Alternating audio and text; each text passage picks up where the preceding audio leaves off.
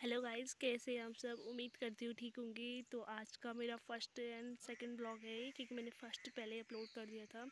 तो आज मैं बता रही हूँ, हमारे यहाँ गेहूँ बो रहे हैं और मैं आ रखी हूँ खेतों में। तो मैं अपना फेस नहीं दिखाऊँगी, क्योंकि आज मैंने बाल वगैरह नहीं बना रखे हैं। खेतों पर आई तो मैंने चेक ब्लॉग शूट कर लूँ और आप देख सकते हैं, ये पूरे हैं हमारे खेतों में आ रखे हैं बैल और हम बो रहे हैं गेहूँ। अभी खेतों की, बोने के बाद खेतों की सफ़ाई भी करेंगे।